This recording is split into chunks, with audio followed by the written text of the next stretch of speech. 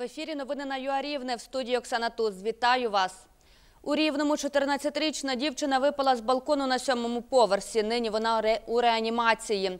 Інцидент стався вчора о пів на 12 ночі на Макарова 10. У поліції підозрюють, що це була спроба самогубства.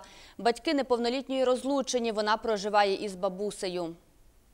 Слідчим Рівненського відділу поліції відомості за цим фактом внесені до єдиного реєстру досудових розслідувань за попередньою правовою кваліфікацією доведення до самогубства.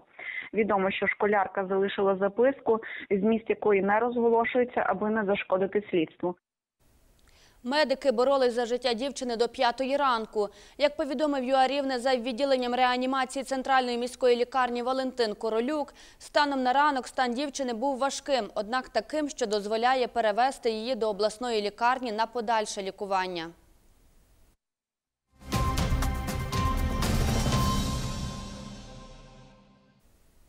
Сьогодні біля головного управління Нацполіції області був пікет. Люди, які представлялися жителями селища Клесі, вимагали узаконити видобуток бурштину, а також відставку начальника Сарненського відділу поліції Сергія Смаглюка та керівника Клесівського лісгоспу Михайла Ониськевича. Тиждень тому подібний мітинг відбувся у Сарнах. Пікетувальники вважають, що саме ці посадовці кришують нелегальний видобуток каміння у Сарненському районі. Акція пройшла мирно. До людей вийшов представник поліції. Після цього мітингувальники пішли в напрямку обласної ради, щоб продовжити акцію там. Смаглюка у відставку! Смаглюка у відставку! Одним людям дають працювати, а другим не дають працювати. Збирають гроші, дають працювати. а не дають працювати людей. І відкривають на людей справи. Залякують. Тому що ми от хочемо легалізації, ми не хочемо платити міліцію, ми хочемо платити державу. Всі заяви і всі звернення, які нам адресувались в, наші, е, в нашу адресу, ми їх зареєстрували.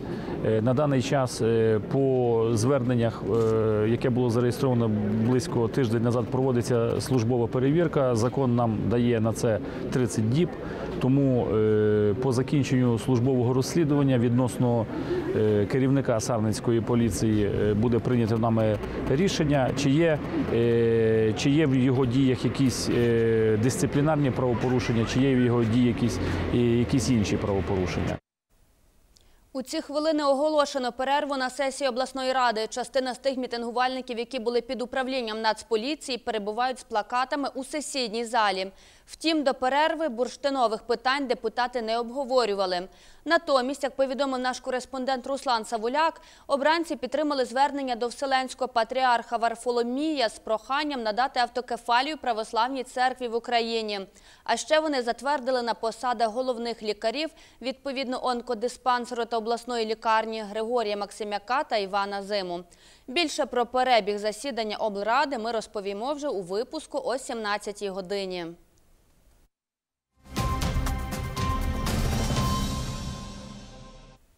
Гаряча вода тече з обох кранів у квартирах будинку на вулиці Вербовій, 93. І так уже три місяці, запевняє мешканка Світлана Шульга. У її сусідки ситуація така ж. Миють посуд і перуть жінки не раніше 10-ї ранку, коли у Рівному припиняють централізовано подавати гарячу воду. Тільки тоді з холодного крана починає текти тепла вода. Така ситуація в усіх 16 квартирах цього будинку, кажуть жінки. З цього приводу мешканці зверталися і в Рівне теплоенерго, і в ЖКГ Сонячне, яке обслуговує цей будинок. Головний інженер житлово-комунального підприємства певен, що причину варто шукати в мережах за межами будинку. Представник рівне теплоенерго навпаки радить обійти усі квартири в будинку, бо одній із них є несправна сантехнічна арматура, через яку усі мешканці мають гарячу воду в обох кранах. Не можна ні їсти зварити, ні помитися, нічого. Зранку йдуть діти в школу, вода тече кипяток. Заявляли, приходили із ЖЕКа слісаря, вони позвонили в комуненергію, прийшла комуненергія, відкрили колодязь, постояли над ним, подивилися і пішли. Нічого не сказали? Нічого не сказали, нічого не зробили і пішли. І це ці три місяці, більше трьох місяців, оце вода на, у нас така йде вже. е, Бачки, бачок набирається гаряча вода. Машинку стирає гаряча вода, тобто його полощиш, ви- виймаєш, вся одежа парує. Трьох чоловіків, які маскувалися під військових, затримали у Рівному працівники Служби безпеки. Як повідомила речниця СБУ області Інна Іллючок, ці чоловіки підозрюються у збутті зброї та видобутку бурштину. Усі троє рівняни. Вони раніше були судимі за кримінальні злочини. Їх затримано на гарячому безпосередньо під час збуту метамфетаміну. Працівники СБУ з'ясовують решту причетних осіб. За місцем проживання затриманих співробітники СБУ виявили велику кількість психотропів та марихуани, набої різного калібру, холодну зброю, а також бурштин-сирець. Зараз всі ці предмети скеровані е, на експертизу. Е, Наразі двом учасникам угрупування вже повідомлено про підозру та обрано міру запобіжного заходу тримання під вартою. Чому вони маскувалися під військовослужбовців? Відомо про це? Ну тому, щоб, щоб втертися в довіру до людей більше, можливо, більш свою значимість хотіли придати. Ну це буде все встановлюватися в ході слідства. З метою маскування своєї протиправної діяльності, щоб і вийти на них було складніше. Поліцейські встановлюють обставини смерті жінки. Вчора по обіді на лінію 102 надійшло повідомлення, що у квартирі багатоповерхівки на вулиці Степана Бандери у Рівному знайшли мертву 40-річну рівнянку. На місце події виїхала слідчо-оперативна група. Наразі причетних до її смерті встановлюють. Під час поверхневого огляду поліцейські виявили на тілі загиблої гематоми. Тіло доставлено в морг для проведення судово-медичної експертизи, яка і визначить причину смерті жінки. За цим фактом слідчі розпочали досудове розслідування за попередньою правовою кваліфікацією частини 2 статті 121 Кримінального кодексу України, тобто умисне тяжке тілесне ушкодження.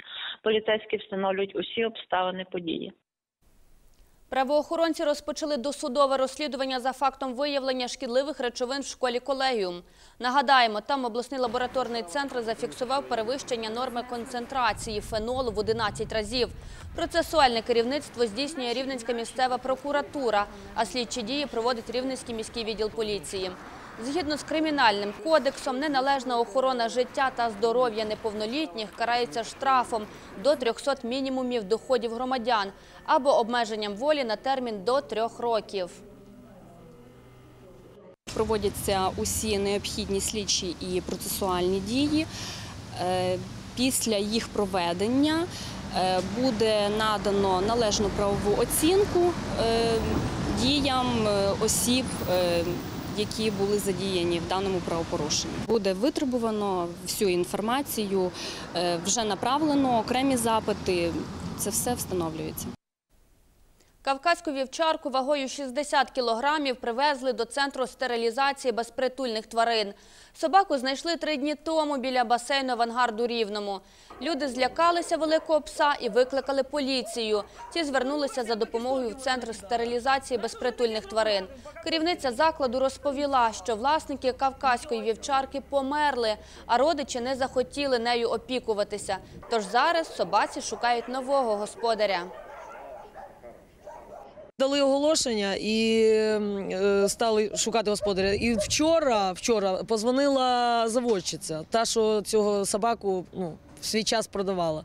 Це кілька років йому е, вона приїхала вчора, побачила, підтвердила, сказала, що це тайфун його звати, йому близько п'яти років.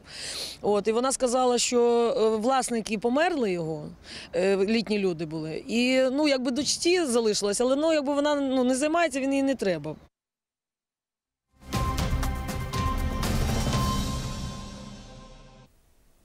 Офіційне тренування учасників півфіналу чемпіонату Європи зі спідвею серед юніорів відбудеться сьогодні на Рівненському мототреці о 15-й годині. Нагадаємо, участь у змаганнях бере 18 гонщиків з восьми країн. П'ять найкращих спортсменів здобудуть путівки до фіналу. Змагання заплановані на суботу. Наразі у мене все. Ви дивилися новини на ЮА Рівне. Нехай щастить. Побачимось.